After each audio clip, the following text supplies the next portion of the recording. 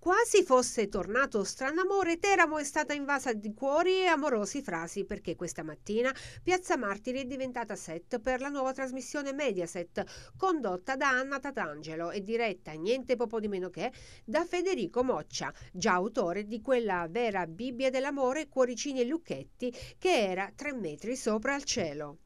Anna Tatangelo a Teramo dunque per girare la puntata del nuovo reality che andrà in onda ad aprile e che vedrà insieme alla bella cantante anche Alvin, storica spalla di Silvia Toffanina Verissimo e che secondo indiscrezioni si dovrebbe intitolare I Like It e che sarà una sorta di ufficio cuori solitari tutto dedicato agli adolescenti.